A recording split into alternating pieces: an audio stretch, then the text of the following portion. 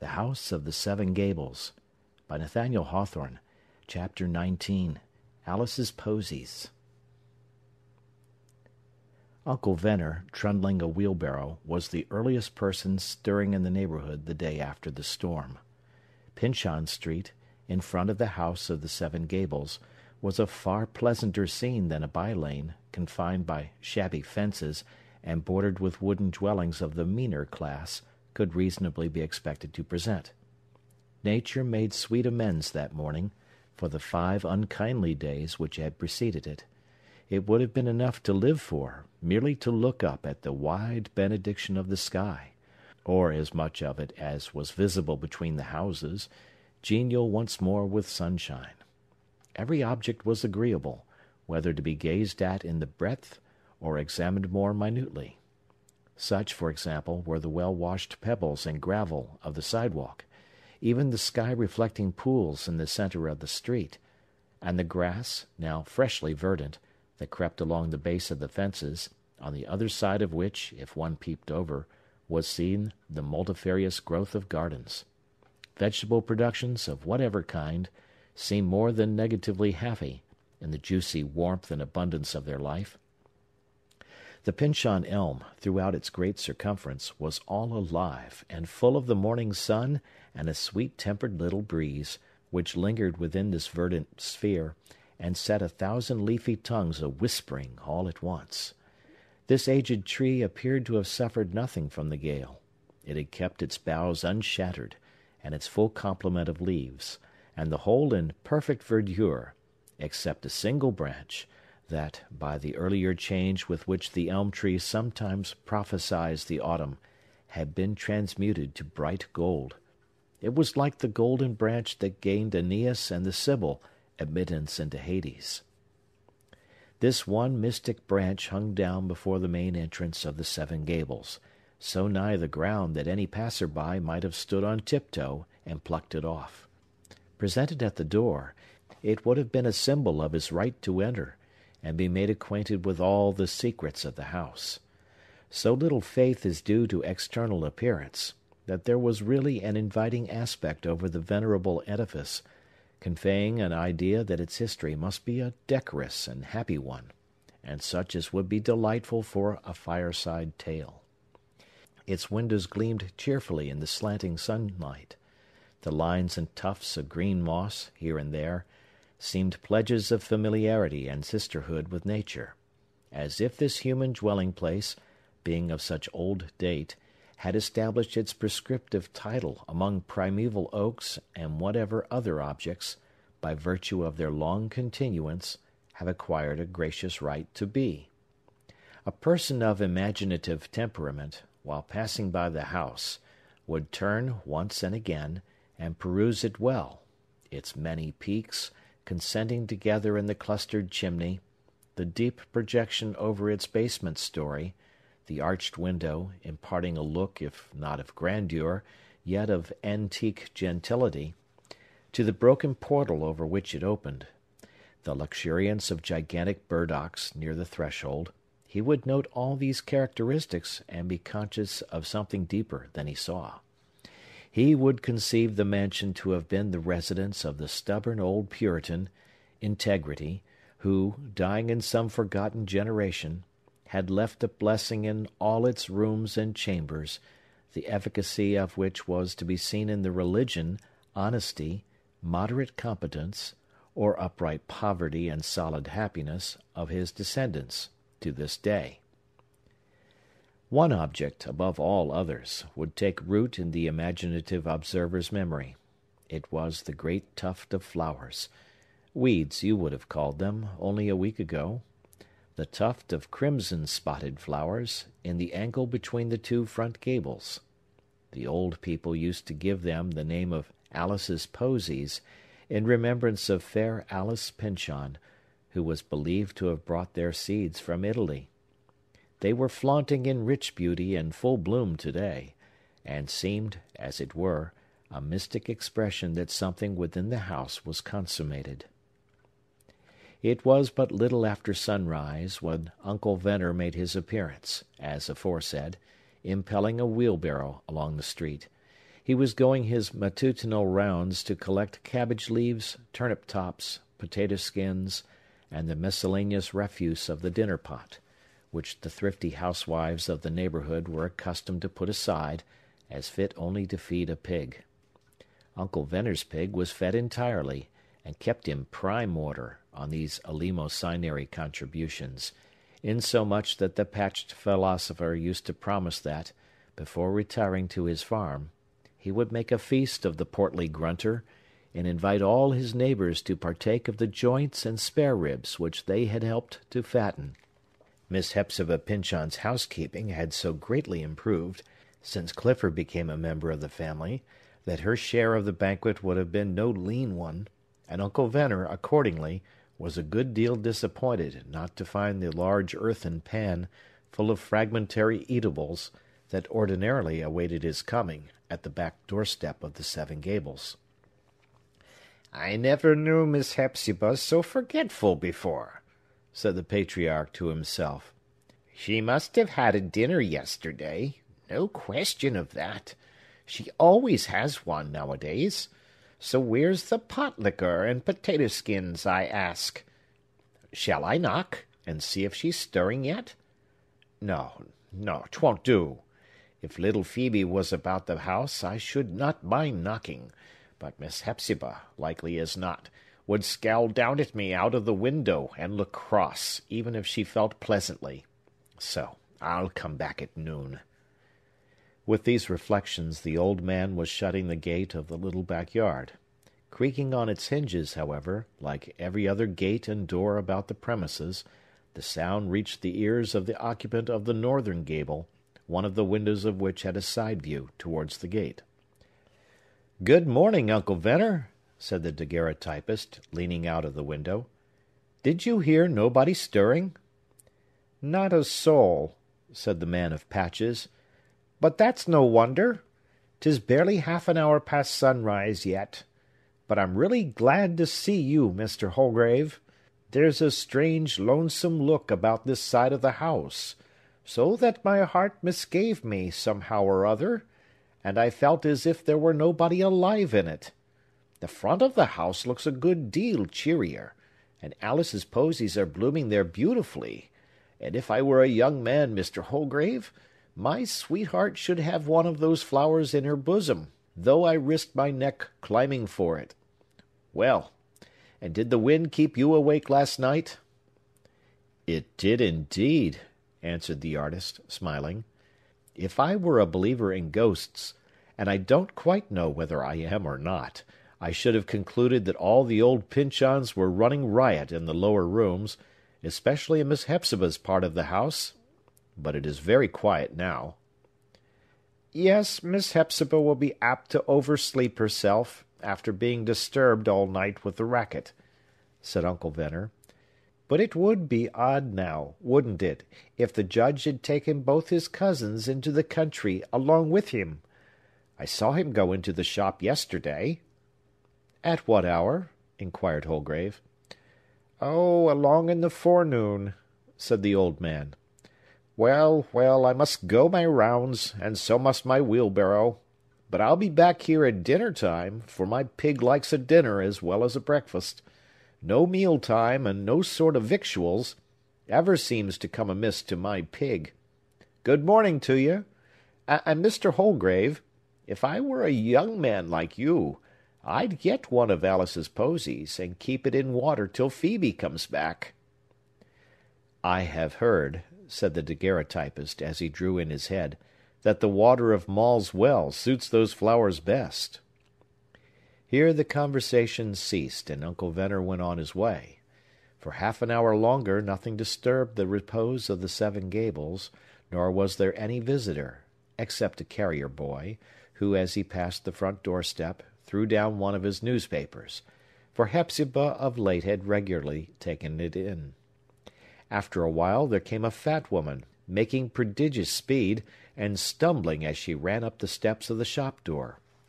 Her face glowed with fire heat, and, it being a pretty warm morning, she bubbled and hissed, as it were, as if all afry with chimney warmth, and summer warmth, and the warmth of her own corpulent velocity. She tried the shop door. It was fast. She tried it again, with so angry a jar that the bell tinkled angrily back at her. "The deuce take old maid Pyncheon!"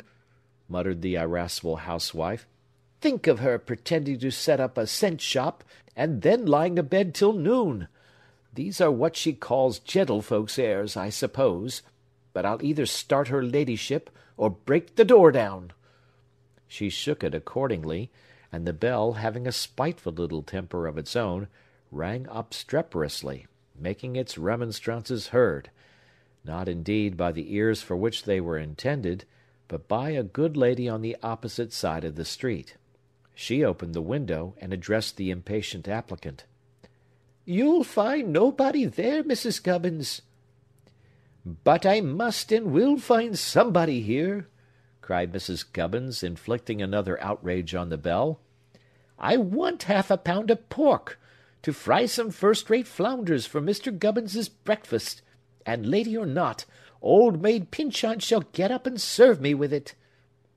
"But do hear reason, Mrs. Gubbins," responded the lady opposite. She and her brother, too, have both gone to their cousin's, Judge Pyncheon's, at his country seat. There's not a soul in the house, but that young daguerreotype man that sleeps in the north gable. I saw old Hepzibah and Clifford go away yesterday, and a queer couple of ducks they were, paddling through the mud puddles. They're gone, I'll assure you." "And how do you know they're gone to the Judge's?" asked Mrs. Gubbins. He's a rich man, and there's been a quarrel between him and Hepzibah this many a day, because he won't give her a living. That's the main reason of her setting up a cent shop." "I know that well enough," said the neighbor. "But they're gone. That's one thing certain.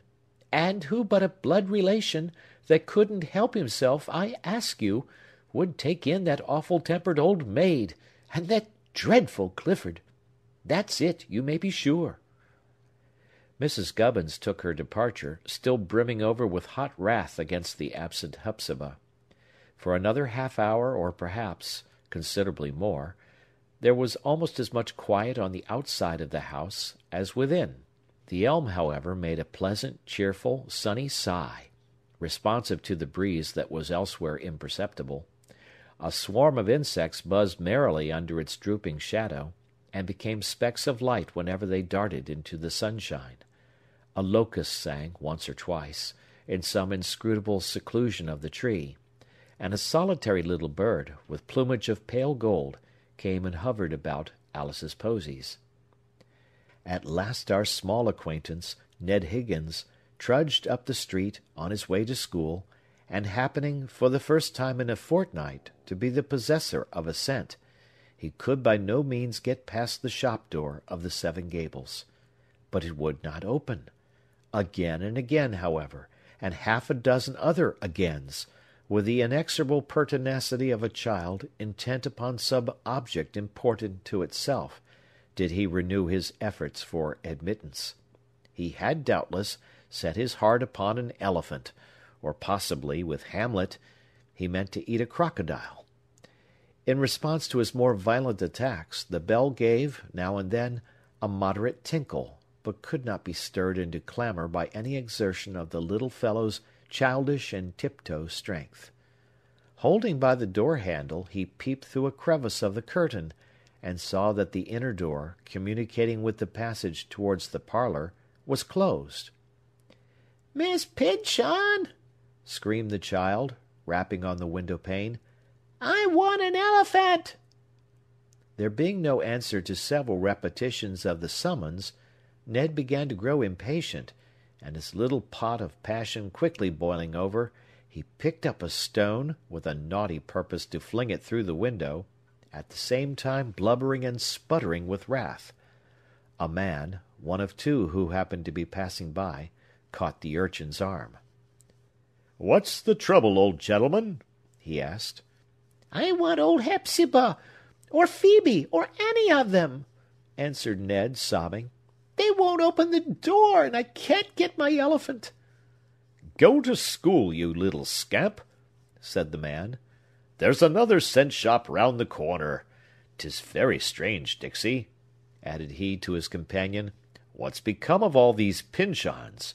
Smith, the livery stable keeper, tells me Judge Pyncheon put his horse up yesterday, to stand till after dinner, and has not taken him away yet; and one of the Judge's hired men has been in this morning to make inquiry about him. He's a kind of person, they say, that seldom breaks his habits, or stays out o' nights." "Oh, he'll turn up safe enough," said Dixey. "And as for old Maid Pyncheon, take my word for it, she has run in debt, and gone off from her creditors.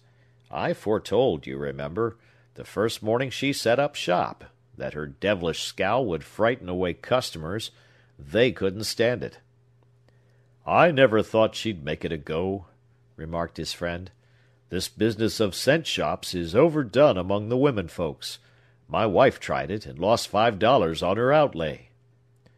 "Poor business," said Dixey, shaking his head. "Poor business!" In the course of the morning there were various other attempts to open a communication with the supposed inhabitants of this silent and impenetrable mansion. The man of root beer came, in his neatly painted wagon, with a couple of dozen full bottles, to be exchanged for empty ones. The baker, with a lot of crackers which Hepzibah had ordered for her retail custom; the butcher, with a nice tit-bit which he fancied she would be eager to secure for Clifford. Had any observer of these proceedings been aware of the fearful secret hidden within the house, it would have affected him with a singular shape and modification of horror, to see the current of human life making this small eddy hereabouts. Whirling sticks, straws, and all such trifles, round and round, right over the black depth where a dead corpse lay unseen. The butcher was so much in earnest with his sweetbread of lamb, or whatever the dainty might be, that he tried every accessible door of the Seven Gables, and at length came round again to the shop, where he ordinarily found admittance. "It's a nice article, and I know the old lady would jump at it," said he to himself. "She can't be gone away. In fifteen years that I have driven my cart through Pyncheon Street, I have never known her to be away from home; though often enough, to be sure, a man might knock all day without bringing her to the door. But that was when she'd only herself to provide for." Peeping through the same crevice of the curtain where, only a little while before, the urchin of elephantine appetite had peeped, the butcher beheld the inner door, not closed, as the child had seen it, but ajar, and almost wide open. However it might have happened, it was the fact. Through the passage-way there was a dark vista into the lighter, but still obscure interior of the parlor. It appeared to the butcher that he could pretty clearly discern what seemed to be the stalwart legs, clad in black pantaloons, of a man sitting in a large oaken chair the back of which concealed all the remainder of his figure.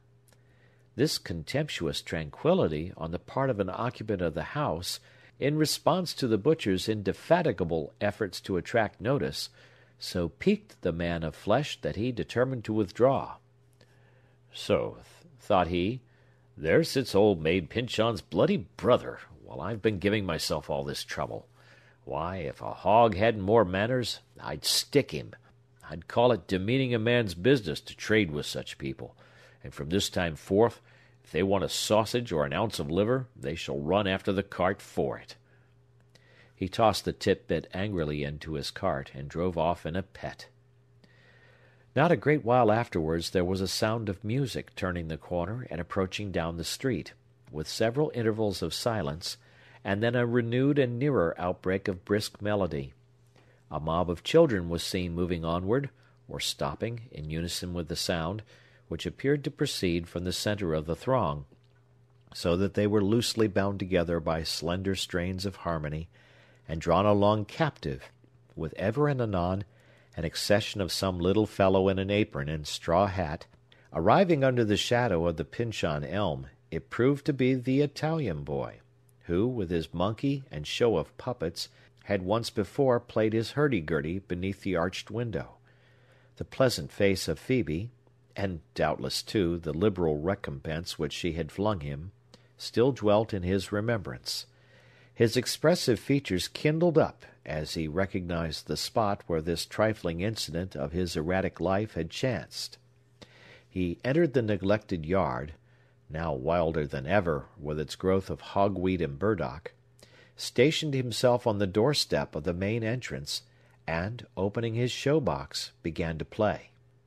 Each individual of the automatic community forthwith set to work, according to his or her proper vocation, the monkey, taking off his Highland bonnet, bowed and scraped to the bystanders most obsequiously, with ever an observant eye to pick up a stray cent; and the young foreigner himself, as he turned the crank of his machine, glanced upward to the arched window, expectant of a presence that would make his music the livelier and sweeter. The throng of children stood near, some on the sidewalk, some within the yard two or three establishing themselves on the very doorstep, and one squatting on the threshold. Meanwhile, the locusts kept singing in the great old Pyncheon elm. "I don't hear anybody in the house," said one of the children to another. "The monkey won't pick up anything here." "There is somebody at home," affirmed the urchin on the threshold. "I heard a step. Still the young Italian's eye turned sidelong upward, and it really seemed as if the touch of genuine, though slight and almost playful, emotion communicated a juicier sweetness to the dry, mechanical process of his minstrelsy. These wanderers are readily responsive to any natural kindness, be it no more than a smile, or a word itself not understood, but only a warmth in it, which befalls them on the roadside of life.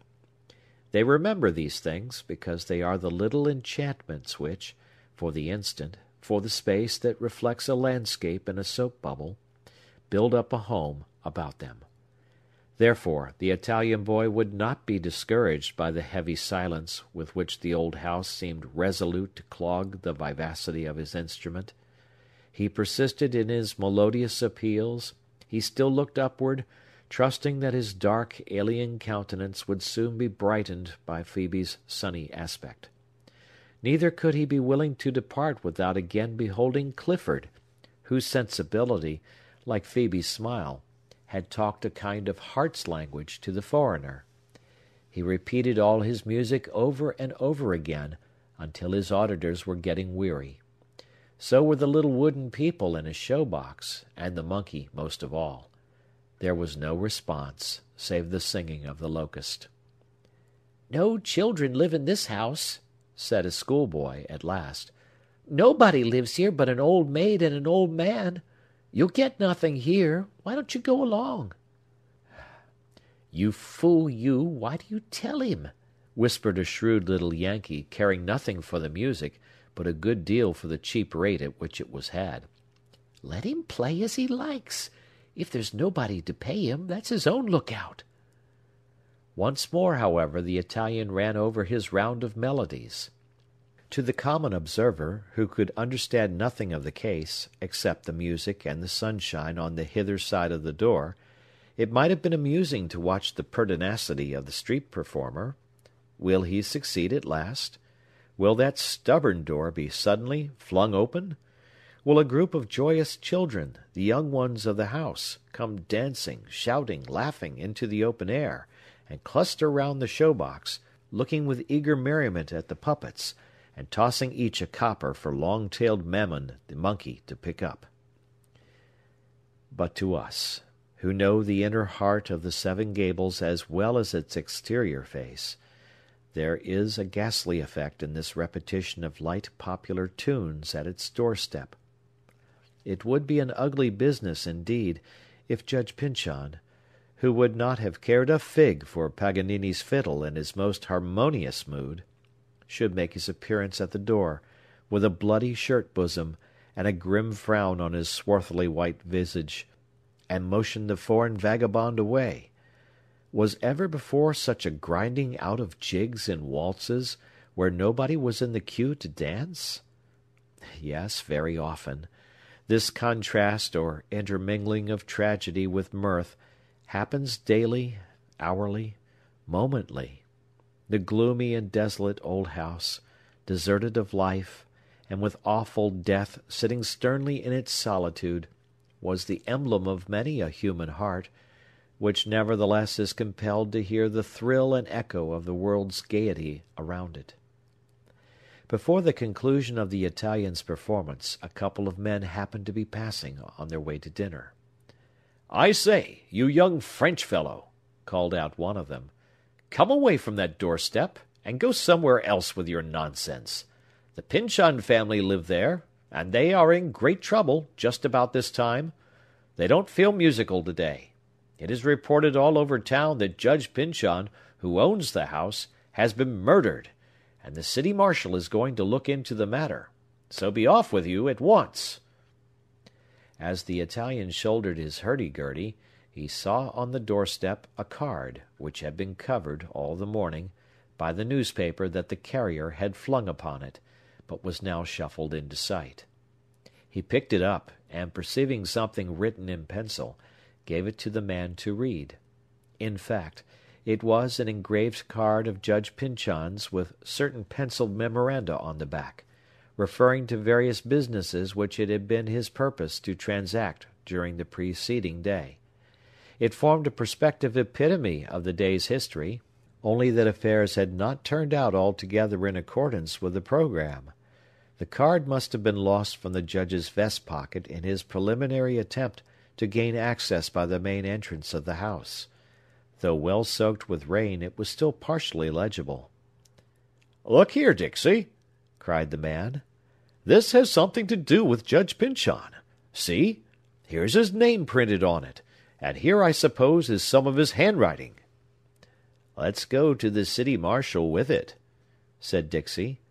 "It may give him just the clue he wants. After all," whispered he in his companion's ear.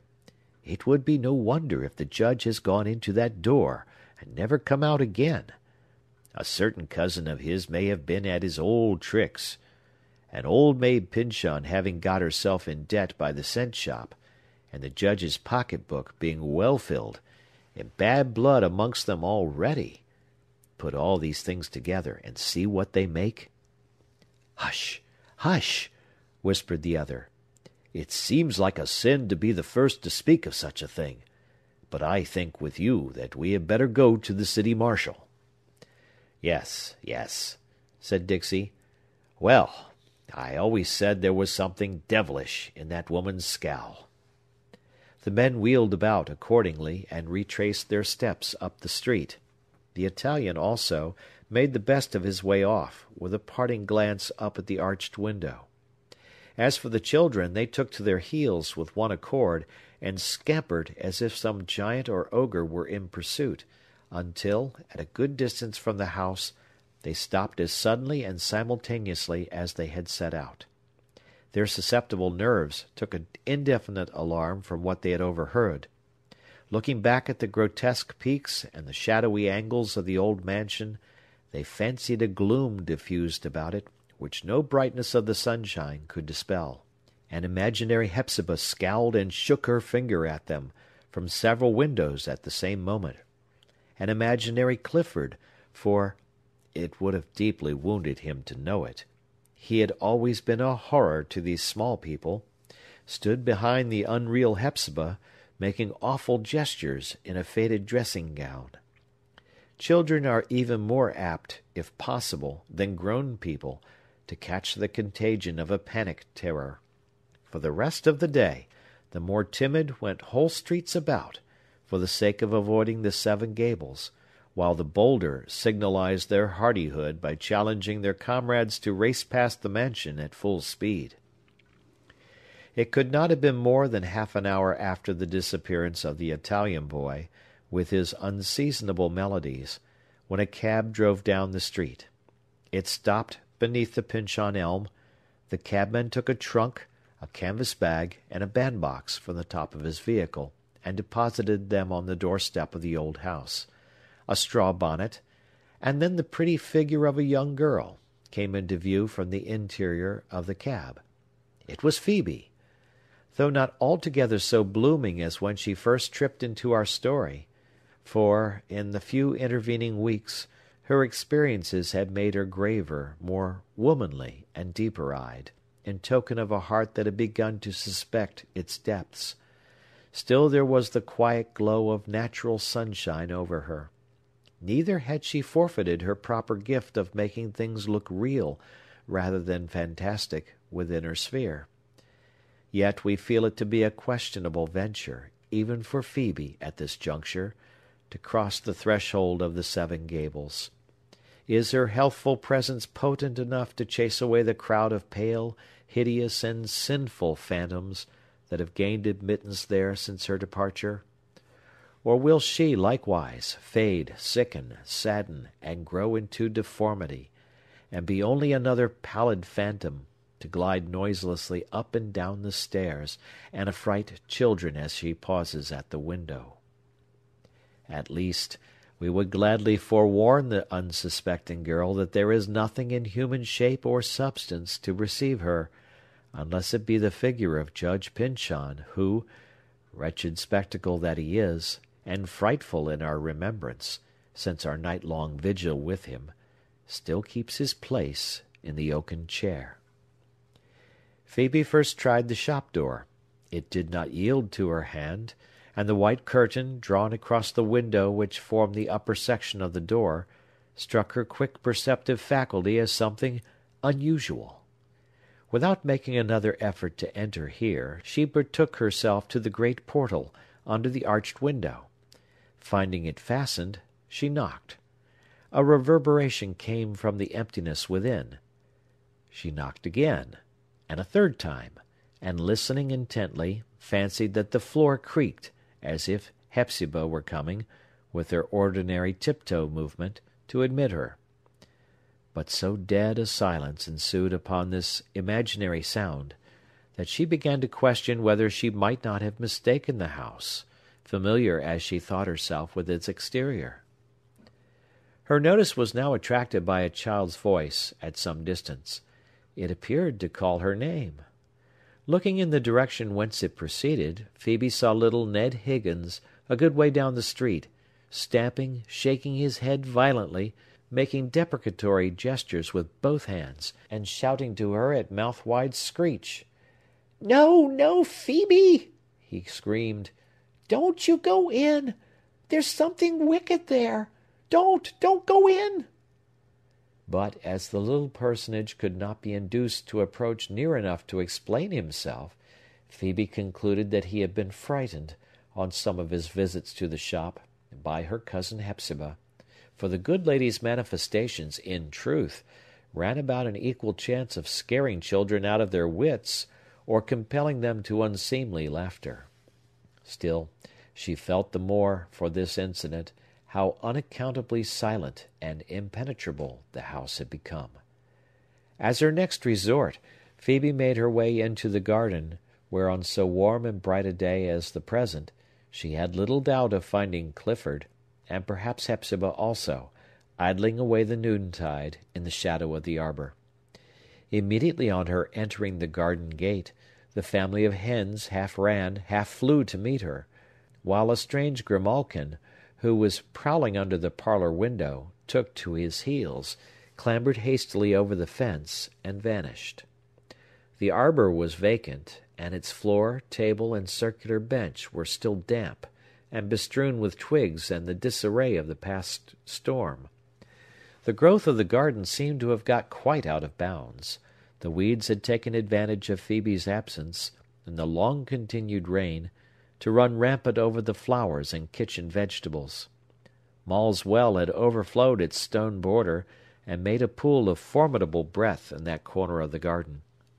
The impression of the whole scene was that of a spot where no human foot had left its print for many preceding days, probably not since Phœbe's departure, for she saw a side comb of her own under the table of the arbor, where it must have fallen on the last afternoon when she and Clifford sat there. The girl knew that her two relatives were capable of far greater oddities than that of shutting themselves up in their old house, as they appeared now to have done.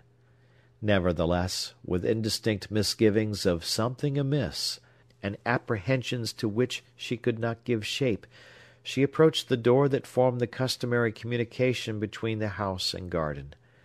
It was secured within, like the two which she had already tried. She knocked, however, and immediately, as if the application had been inspected, the door was drawn open, by a considerable exertion of some unseen person's strength, not wide, but far enough to afford her a sidelong entrance. As Hepzibah, in order not to expose herself to inspection from without, invariably opened a door in this manner, Phœbe necessarily concluded that it was her cousin who now admitted her. Without hesitation, therefore, she stepped across the threshold, and had no sooner entered than the door closed behind her. End of chapter. The House of the Seven Gables by Nathaniel Hawthorne. Chapter 20 The Flower of Eden. Phœbe, coming so suddenly from the sunny daylight, was altogether bedimmed in such density of shadow as lurked in most of the passages of the old house. She was not at first aware by whom she had been admitted. Before her eyes had adapted themselves to the obscurity, a hand grasped her own with a firm but gentle and warm pressure, thus imparting a welcome which caused her heart to leap and thrill with an indefinable shiver of enjoyment. She felt herself drawn along, not towards the parlor, but into a large and unoccupied apartment, which had formerly been the grand reception room of the Seven Gables. The sunshine came freely into all the uncurtained windows of this room, and fell upon the dusty floor, so that Phœbe now clearly saw, what indeed had been no secret, after the encounter of a warm hand with hers, that it was not Hepzibah nor Clifford, but Holgrave, to whom she owed her reception. The subtle, intuitive communication, or rather the vague and formless impression of something to be told, had made her yield unresistingly to his impulse. Without taking away her hand, she looked eagerly in his face, not quick to forebode evil, but unavoidably conscious that the state of the family had changed since her departure, and therefore anxious for an explanation. The artist looked paler than ordinary. There was a thoughtful and severe contraction of his forehead, tracing a deep vertical line between the eyebrows. His smile, however, was full of genuine warmth, and had in it a joy, by far the most vivid expression that Phœbe had ever witnessed, shining out of the New England reserve with which Holgrave habitually masked whatever lay near his heart. It was the look wherewith a man, brooding alone over some fearful object, in a dreary forest or illimitable desert, would recognize the familiar aspect of his dearest friend, bringing up all the peaceful ideas that belong to home, and the gentle current of everyday affairs. And yet, as he felt the necessity of responding to her look of inquiry, the smile disappeared. I ought not to rejoice that you have come, Phœbe, said he. We meet at a strange moment. What has happened? she exclaimed. Why is the house so deserted? Where are Hepzibah and Clifford? Gone. I cannot imagine where they are, answered Holgrave. We are alone in the house. Hepzibah and Clifford gone? cried Phœbe. It is not possible. And why have you brought me into this room instead of the parlor? Ah, something terrible has happened. I must run and see. No, no, Phœbe, said Holgrave, holding her back. It is as I have told you. They are gone, and I know not whither. A terrible event has, indeed, happened, but not to them, nor, as I undoubtingly believe, through any agency of theirs. If I read your character rightly, Phœbe, he continued, fixing his eyes on hers with stern anxiety, intermixed with tenderness, gentle as you are, and seeming to have your sphere among common things, you yet possess remarkable strength. You have wonderful poise, and a faculty which, when tested, will prove itself capable of dealing with matters that fall far out of the ordinary rule. "Oh, no, I am very weak," replied Phœbe, trembling. "But tell me what has happened." "You are strong," persisted Holgrave. "You must be both strong and wise, for I am all astray, and need your counsel. It may be you can suggest the one right thing to do. Tell me, tell me, said Phœbe, all in a tremble. It oppresses, it terrifies me, this mystery. Anything else I can bear. The artist hesitated. Notwithstanding what he had just said, and most sincerely, in regard to the self-balancing power with which Phœbe impressed him, it still seemed almost wicked to bring the awful secret of yesterday to her knowledge. It was like dragging a hideous shape of death into the cleanly and cheerful space before a household fire, where it would present all the uglier aspect amid the decorousness of everything about it. Yet it could not be concealed from her. She must needs know it. Phœbe, said he, do you remember this?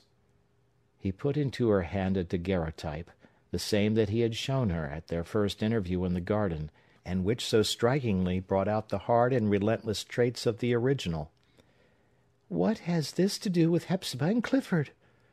Asked Phœbe, with impatient surprise that Holgrave should so trifle with her at such a moment. It is Judge Pyncheon. You have shown it to me before. But here is the same face, taken within this half hour, said the artist, presenting her with another miniature. I had just finished it when I heard you at the door. This is death, shuddered Phœbe, turning very pale. Judge Pyncheon dead. Such as there represented, said Holgrave. He sits in the next room. The judge is dead, and Clifford and Hepzibah have vanished. I know no more. All beyond is conjecture. On returning to my solitary chamber, last evening, I noticed no light, either in the parlour, or Hepzibah's room, or Clifford's. No stir nor footstep about the house. This morning there was the same death-like quiet. From my window I overheard the testimony of a neighbor that your relatives were seen leaving the house in the midst of yesterday's storm. A rumor reached me, too, of Judge Pyncheon being missed. A feeling which I cannot describe, an indefinite sense of some catastrophe or consummation, impelled me to make my way into this part of the house, where I discovered what you see. As a point of evidence that may be useful to Clifford, and also as a memorial valuable to myself, for Phœbe, there are hereditary reasons that connect me strangely with that man's fate. I used the means at my disposal to preserve this pictorial record of Judge Pyncheon's death. Even in her agitation, Phœbe could not help remarking the calmness of Holgrave's demeanour. He appeared, it is true, to feel the whole awfulness of the judge's death, yet had received the fact into his mind without any mixture of surprise, but as an event preordained happening inevitably, and so fitting itself into past occurrences that it could almost have been prophesied. Why have you not thrown open the doors and called in witnesses? inquired she, with a painful shudder. It is terrible to be here alone. But Clifford, suggested the artist, Clifford and Hepzibah, we must consider what is best to be done in their behalf. It is a wretched fatality that they should have disappeared. Their flight will throw the worst coloring over this event of which it is susceptible. Yet how easy is the explanation to those who know them! Bewildered and terror stricken by the similarity of this death to a former one, which was attended with such disastrous consequences to Clifford, they have had no idea but of removing themselves from the scene. How miserably unfortunate! Had Hepzibah but shrieked aloud, had Clifford flung wide the door, and proclaimed Judge Pyncheon's death, it would have been, however awful in itself, an event fruitful of good consequences to them. As I view it, it would have gone far towards obliterating the black stain on Clifford's character. And how, asked Phœbe, could any good come from what is so very dreadful? Because, said the artist, if the matter can be fairly considered and candidly interpreted, it must be evident that Judge Pyncheon could not have come unfairly to his end. This mode of death had been an idiosyncrasy with his family for generations past, not often occurring, indeed, but when it does occur, usually attacking individuals about the judge's time of life, and generally in the tension of some mental crisis, or perhaps in an access of wrath. Old Maule's prophecy was probably founded on a knowledge of this physical predisposition in the Pyncheon race. Now, there is a minute and almost exact similarity in the appearances connected with the death that occurred yesterday and those recorded of the death of Clifford's uncle thirty years ago.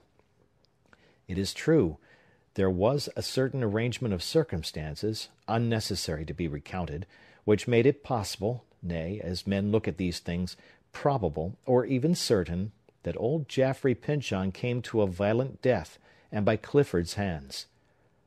"Whence came those circumstances?" exclaimed Phœbe. "He being innocent, as we know him to be." "They were arranged," said Holgrave. "At least such has long been my conviction. They were arranged after the uncle's death, and before it was made public, by the man who sits in yonder parlor. His own death, so like that former one, yet attended by none of those suspicious circumstances, seems the stroke of God upon him, at once a punishment for his wickedness, and making plain the innocence of Clifford. But this flight, it distorts everything. He may be in concealment, near at hand. Could we but bring him back before the discovery of the Judge's death, the evil might be rectified. "We must not hide this thing a moment longer," said Phœbe. "It is dreadful to keep it so closely in our hearts. Clifford is innocent. God will make it manifest. Let us throw open the doors, and call all the neighborhood to see the truth." "You are right, Phœbe," rejoined Holgrave. "Doubtless you are right." Yet the artist did not feel the horror which was proper to Phœbe's sweet and order loving character at thus finding herself at issue with society, and brought in contact with an event that transcended ordinary rules. Neither was he in haste, like her, to betake himself within the precincts of common life. On the contrary, he gathered a wild enjoyment, as it were, a flower of strange beauty, growing in a desolate spot, and blossoming in the wind.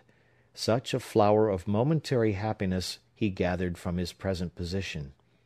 It separated Phœbe and himself from the world, and bound them to each other by their exclusive knowledge of Judge Pyncheon's mysterious death, and the counsel which they were forced to hold respecting it.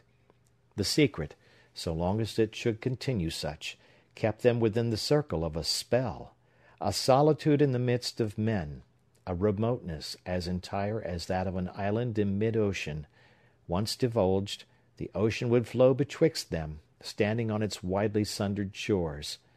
Meanwhile, all the circumstances of their situation seemed to draw them together. They were like two children who go hand in hand, pressing closely to one another's side, through a shadow haunted passage. The image of awful death, which filled the house, held them united by his stiffened grasp. These influences hastened the development of emotions that might not otherwise have flowered so.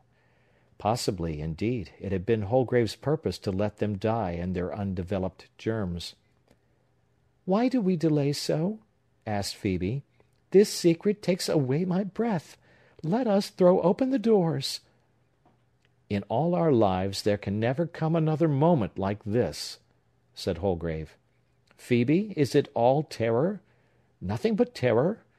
Are you conscious of no joy, as I am, that has made this the only point of life worth living for?" "It seems a sin," replied Phœbe, trembling, "to think of joy at such a time." "Could you but know, Phœbe, how it was with me the hour before you came!" exclaimed the artist. "A dark, cold, miserable hour! The presence of yonder dead man threw a great black shadow over everything. He made the universe, so far as my perception could reach, a scene of guilt, and of retribution more dreadful than the guilt. The sense of it took away my youth. I never hoped to feel young again. The world looks strange, wild, evil, hostile. My past life, so lonesome and dreary; my future, a shapeless gloom, which I must mould into gloomy shapes. But, Phœbe, you crossed the threshold, and hope, warmth, and joy came in with you. The black moment became at once a blissful one. It must not pass without the spoken word. I love you. How can you love a simple girl like me? asked Phœbe, compelled by his earnestness to speak. You have many, many thoughts with which I should try in vain to sympathize. And I, I too, I have tendencies with which you would sympathize as little. That is less matter, but I have not scope enough to make you happy. You are my only possibility of happiness, answered Holgrave. I have no faith in it, except as you bestow it on me. And then I am afraid, continued Phœbe, shrinking towards Holgrave, even while she told him so frankly the doubts with which he affected her. You will lead me out of my own quiet path. You will make me strive to follow you where it is pathless. I cannot do so. It is not my nature. I shall sink down and perish. Ah, Phœbe! exclaimed Holgrave, with almost a sigh, and a smile that was burdened with thought. It will be far otherwise than as you forebode. The world owes all its onward impulses to men ill at ease. The happy man inevitably confines himself within ancient limits. I have a presentiment that, hereafter, it will be my lot to set out trees, to make fences, perhaps, even, in due time, to build a house for another generation. In a word, to conform myself to laws and the peaceful practice of society. Your poise will be more powerful than any oscillating tendency of mine. I would not have it so, said Phœbe earnestly. Do you love me? asked Holgrave. If we love one another, the moment has room for nothing more. Let us pause upon it, and be satisfied. Do you love me, Phœbe? You look into my heart, said she, letting her eyes drop. You know I love you. And it was in this hour, so full of doubt and awe, that the one miracle was wrought, without which every human existence is a blank. The bliss which makes all things true, beautiful, and holy, shone around this youth and maiden. They were conscious of nothing sad nor old. They transfigured the earth and made it Eden again, and themselves the two first dwellers in it. The dead man, so close beside them, was forgotten. At such a crisis there is no death, for immortality is revealed anew, and embraces everything in its hallowed atmosphere. But how soon the heavy earth dream settled down again. Hark! whispered Phœbe. Somebody is at the street door. Now let us meet the world, said Holgrave. No doubt the rumour of Judge Pyncheon's visit to this house, and the flight of Hepzibah and Clifford, is about to lead to the investigation of the premises. We have no way but to meet it. Let us open the door at once. But, to their surprise, before they could reach the street door, even before they quitted the room in which the foregoing interview had passed, they heard footsteps in the farther passage. The door, therefore, which they supposed to be securely locked, which Holgrave indeed had seen to be so, and at which Phœbe had vainly tried to enter, must have been opened from without. The sound of footsteps was not harsh, bold, decided, and intrusive, as the gait of strangers would naturally be, making authoritative entrance into a dwelling where they knew themselves unwelcome. It was feeble, as of persons either weak or weary. There was the mingled murmur of two voices, familiar to both the listeners. Can it be? whispered Holgrave. It is they, answered Phœbe. Thank God! Thank God! And then, as if in sympathy with Phœbe's whispered ejaculation, they heard Hepzibah's voice more distinctly. Thank God, my brother, we are at home. Well, yes, thank God, responded Clifford. A dreary home, Hepzibah, but you have done well to bring me hither. Stay, that parlour door is open. I cannot pass by it. Let me go and rest me in the arbour, where I used.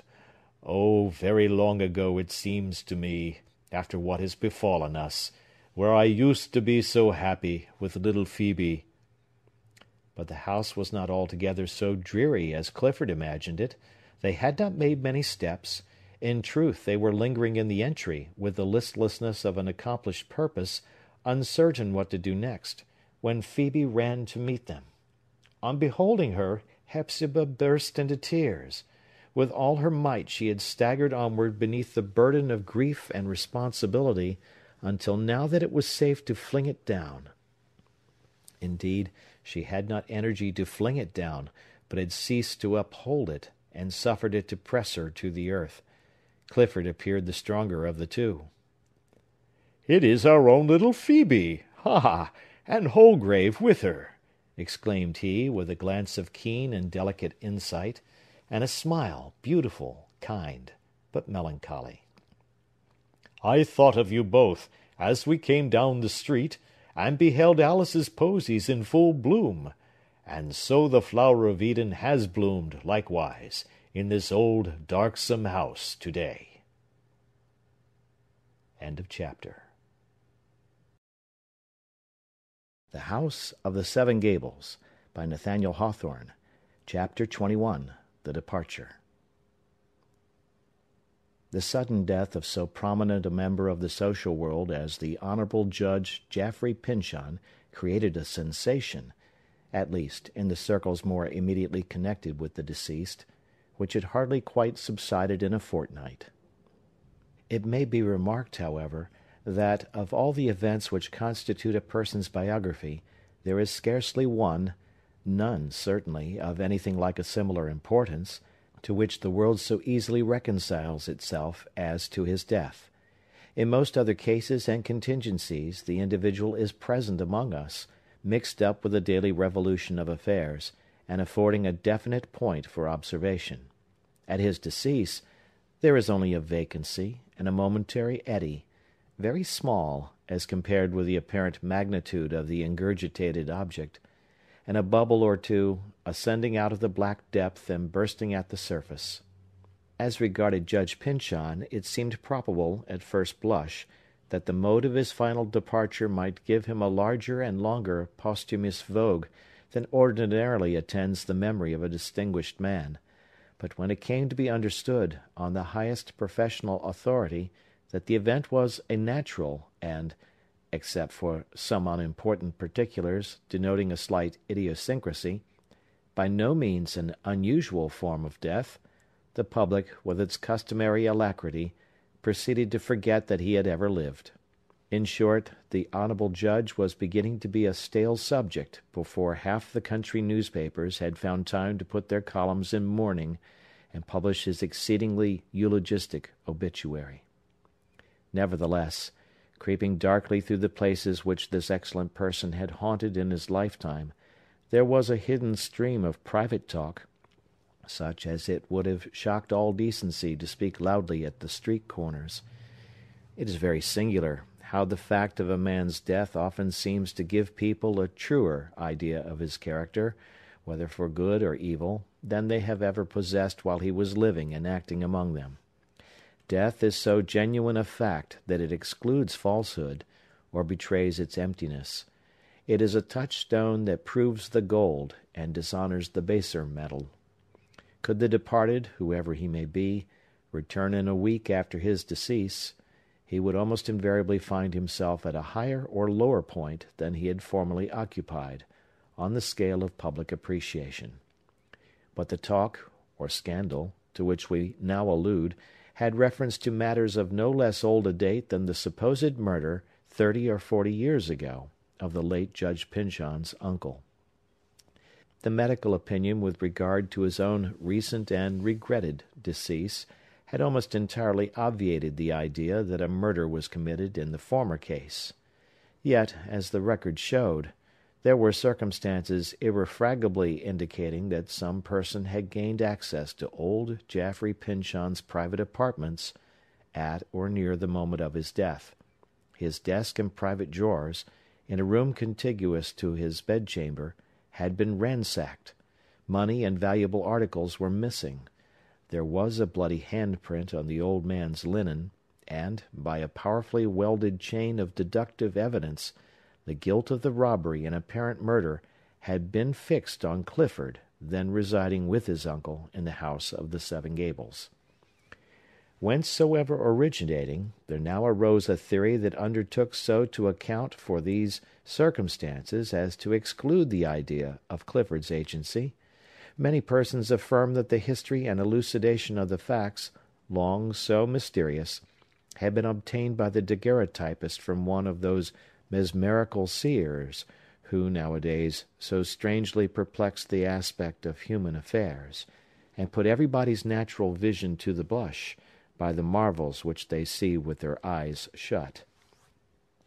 According to this version of the story, Judge Pyncheon, exemplary as we have portrayed him in our narrative, was, in his youth, an apparently irreclaimable scapegrace.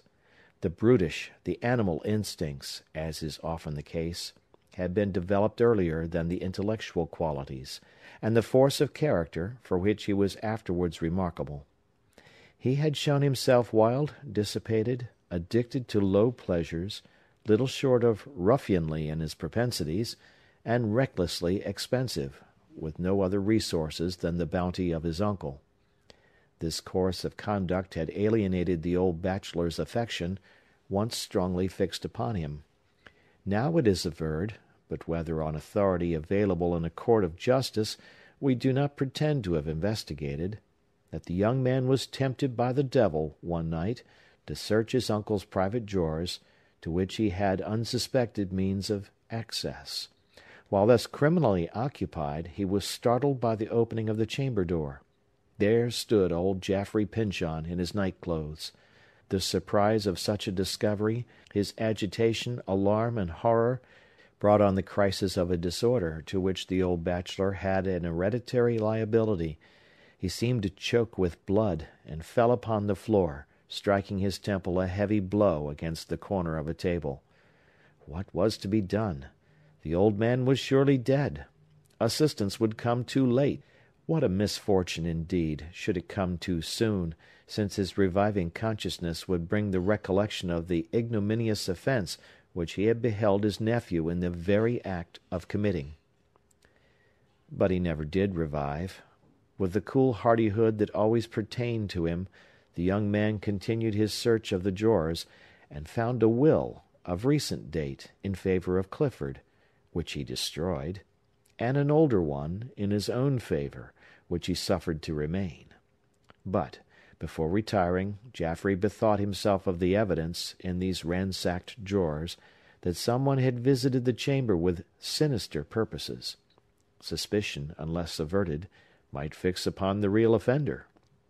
In the very presence of the dead man, therefore, he laid a scheme that should free himself at the expense of Clifford, his rival, for whose character he had at once a contempt and a repugnance. It is not probable, be it said, that he acted with any set purpose of involving Clifford in a charge of murder. Knowing that his uncle did not die by violence, it may not have occurred to him, in the hurry of the crisis, that such an inference might be drawn. But, when the affair took this darker aspect, Jaffrey's previous steps had already pledged him to those which remained. So craftily had he arranged the circumstances, that at Clifford's trial his cousin hardly found it necessary to swear to anything false, but only to withhold the one decisive explanation by refraining to state what he had himself done and witnessed. Thus Jaffrey Pyncheon's inward criminality, as regarded Clifford, was indeed black and damnable, while its mere outward show and positive commission was the smallest that could possibly consist with so great a sin. This is just the sort of guilt that a man of eminent respectability finds it easiest to dispose of. It was suffered to fade out of sight, or be reckoned a venial matter, in the Honourable Judge Pyncheon's long subsequent survey of his own life. He shuffled it aside, among the forgotten and forgiven frailties of his youth, and seldom thought of it again. We leave the Judge to his repose. He could not be styled fortunate at the hour of death. Unknowingly, he was a childless man, while striving to add more wealth to his only child's inheritance. Hardly a week after his decease, one of the Cunard steamers brought intelligence of the death, by cholera, of Judge Pyncheon's son, just at the point of embarkation for his native land. By this misfortune Clifford became rich. So did Hepzibah. So did our little village maiden, and through her, that sworn foe of wealth and all manner of conservatism, the wild reformer, Holgrave. It was now far too late in Clifford's life for the good opinion of society to be worth the trouble and anguish of a formal vindication. What he needed was the love of a very few, not the admiration, or even the respect, of the unknown many. The latter might probably have been won for him, had those on whom the guardianship of his welfare had fallen deemed it advisable to expose Clifford to a miserable resuscitation of past ideas, when the condition of whatever comfort he might expect lay in the calm of forgetfulness.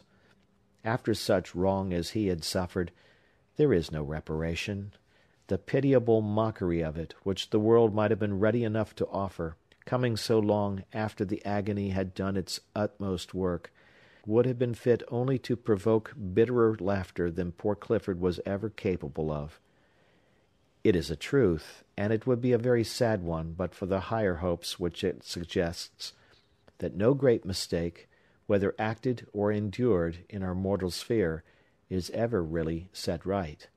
Time, the continual vicissitude of circumstances, and the invariable inopportunity of death, render it impossible.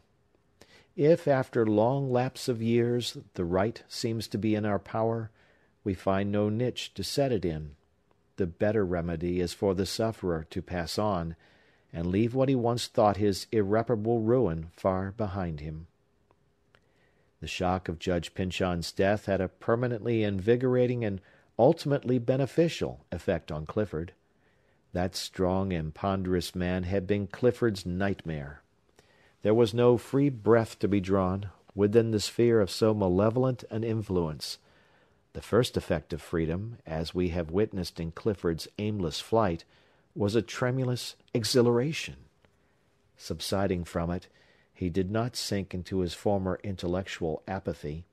He never, it is true, attained to nearly the full measure of what might have been his faculties, but he recovered enough of them partially to light up his character, to display some outline of the marvellous grace that was abortive in it, and to make him the object of no less deep, although less melancholy interest, than heretofore. He was evidently happy.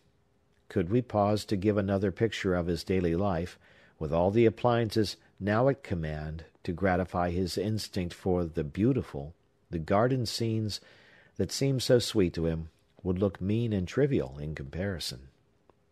Very soon after their change of fortune, Clifford, Hepzibah, and little Phœbe, with the approval of the artist, concluded to remove from the dismal old house of the Seven Gables, and take up their abode, for the present, at the elegant country seat of the late Judge Pyncheon. Chanticleer and his family had already been transported thither, where the two hens had forthwith begun an indefatigable process of egg-laying, with an evident design, as a matter of duty and conscience, to continue their illustrious breed under better auspices than for a century past. On the day set for their departure, the principal personages of our story, including good Uncle Venner, were assembled in the parlor.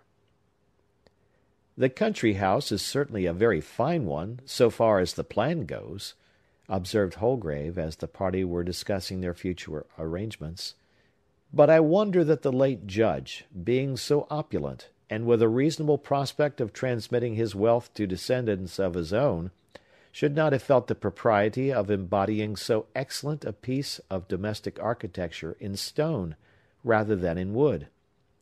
Then every generation of the family might have altered the interior to suit its own taste and convenience, while the exterior, through the lapse of years, might have been adding venerableness to its original beauty, and thus giving that impression of permanence which I consider essential to the happiness of any one moment. "Why," cried Phœbe, gazing into the artist's face with infinite amazement, "how wonderfully your ideas have changed! A house of stone, indeed! It is but two or three weeks ago that you seemed to wish people to live in something as fragile and temporary as a bird's nest." Ah, Phœbe, I told you how it would be, said the artist, with a half melancholy laugh. You find me a conservative already. Little did I think ever to become one. It is especially unpardonable in this dwelling of so much hereditary misfortune, and under the eye of yonder portrait of a model conservative, who, in that very character, rendered himself so long the evil destiny of his race. "That picture," said Clifford, seeming to shrink from its stern glance, "whenever I look at it, there is an old dreamy recollection haunting me, but keeping just beyond the grasp of my mind. Wealth, it seems to say, boundless wealth, unimaginable wealth. I could fancy that, when I was a child or a youth, that portrait had spoken, and told me a rich secret or had held forth its hand, with a written record of hidden opulence. But these old matters are so dim with me, nowadays. What could this dream have been? Perhaps I can recall it, answered Holgrave. See! There are a hundred chances to one that no person, unacquainted with the secret, would ever touch this spring. A secret spring! cried Clifford. Ah! I remember now. I did discover it, one summer afternoon, when I was idling and dreaming about the house, long, long ago. But the mystery escapes me. The artist put his finger on the contrivance to which he had referred. In former days, the effect would probably have been to cause the picture to start forward. But, in so long a period of concealment, the machinery had been eaten through with rust so that at Holgrave's pressure, the portrait, frame and all, tumbled suddenly from its position, and lay face downward on the floor. A recess in the wall was thus brought to light, in which lay an object so covered with a century's dust that it could not immediately be recognized as a folded sheet of parchment.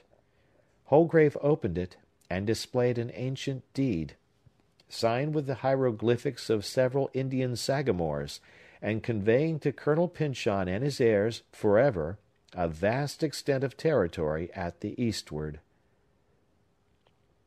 This is the very parchment, the attempt to recover which cost the beautiful Alice Pyncheon her happiness and life, said the artist, alluding to his legend. It is what the Pyncheons sought in vain, while it was valuable, and now that they find the treasure, it has long been worthless. Poor cousin Jaffrey! This is what deceived him!" exclaimed Hepzibah. "When they were young together, Clifford probably made a kind of fairy tale of this discovery. He was always dreaming hither and thither about the house, and lighting up its dark corners with beautiful stories. And poor Jaffrey, who took hold of everything as if it were real, thought my brother had found out his uncle's wealth. He died with this delusion in his mind." "But," said Phœbe, apart to Holgrave, "how came you to know the secret?" "My dearest Phœbe," said Holgrave, "how will it please you to assume the name of Maule? As for the secret, it is the only inheritance that has come down to me from my ancestors. You should have known sooner only that I was afraid of frightening you away, that, in this long drama of wrong and retribution, I represent the old wizard, and am probably as much a wizard as ever he was. The son of the executed Matthew Maule, while building this house, took the opportunity to construct that recess, and hide away the Indian deed, on which depended the immense land claim of the Pyncheons. Thus they bartered their eastern territory for Maule's garden ground. "And now," said Uncle Venner, "I suppose their whole claim is not worth one man's share in my farm yonder." "Uncle Venner," cried Phœbe, taking the patched philosopher's hand, "you must never talk any more about your farm. You shall never go there as long as you live. There is a cottage in our new garden the prettiest little yellowish brown cottage you ever saw, and the sweetest looking place, for it looks just as if it were made of gingerbread. And we are going to fit it up and furnish it, on purpose for you. And you shall do nothing but what you choose, and shall be as happy as the day is long, and shall keep Cousin Clifford in spirits with the wisdom and pleasantness which is always dropping from your lips. Ah, my dear child, quoth good Uncle Venner, quite overcome, if you were to speak to a young man as you do to an old one, his chance of keeping his heart another minute would not be worth one of the buttons on my waistcoat. And, soul alive, that great sigh which you made me heave has burst off the very last of them. but never mind. It was the happiest sigh I ever did heave, and it seems as if I must have drawn in a gulp of heavenly breath to make it with. Well, well, Miss Phœbe, they'll miss me in the gardens hereabouts, and round by the back doors, and Pyncheon Street, I'm afraid, will hardly look the same without old Uncle Venner, who remembers it with a mowing field on one side, and the garden of the Seven Gables on the other. But either I must go to your country seat, or you must come to my farm. That's one of two things certain, and I leave you to choose which. Oh, come with us, by all means, Uncle Venner, said Clifford, who had a remarkable enjoyment of the old man's mellow, quiet, and simple spirit. I want you always to be within five minutes' saunter of my chair. You are the only philosopher I ever knew of whose wisdom has not a drop of bitter essence at the bottom. Dear me! cried Uncle Venner, beginning partly to realize what manner of man he was. And yet folks used to set me down among the simple ones in my younger days. But I suppose I am like a Roxbury russet, a great deal the better, the longer I can be kept.